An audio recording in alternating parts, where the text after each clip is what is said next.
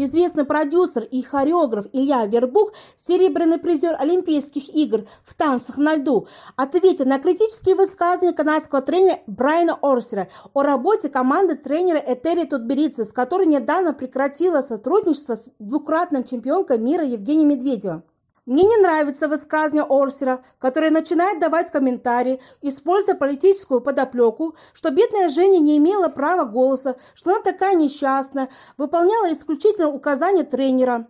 Он вспомнил опыт работы постановки программ для Медведевой и отметил, что спортсменка всегда могла принять участие в разработке номера. Если Орсер хочет еще раз поднять тему, что русские роботы, они такие свободные, то я бы ему так от ответил, что нужно начинать свою работу с уважительным высказыванием о предыдущем тренере Жене и всех хореографов, с которым она работала, потому что до программ Медведева им еще расти и расти, заявил Авербух.